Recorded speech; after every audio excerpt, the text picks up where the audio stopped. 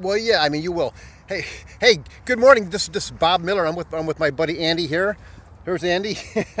hey, Andy's gonna Andy's actually gonna take a video of, of me to, this morning. He's gonna actually hold the camera because I'm cause he just, he just uh, show, he found something here, so I'm gonna show it to you.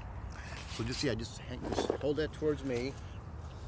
Yeah, just hold it towards me here. Okay, that's what I want right there. Okay, yeah, well, just yeah, I- mean, aim it right at my, my face here. Like Yeah, this? I- yeah, I've got this this cool little little hat here. Actually, pull up a little bit, Andy.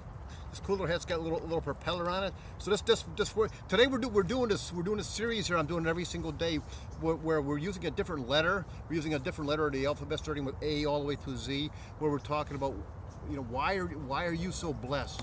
You know why do you feel so good? What are you so grateful for in your life? And why are you committed to, to you know to creating positive momentum in your life? So today I'm going to use the word M because I'm motivated to, to, to fly with my, my little hat here that, that Andy has. So anyways, I just wanted to share that because I just thought it was so so cool. So Andy, thank you so much for taking this little video of me. I'll give you your hat back and I'll take the video camera.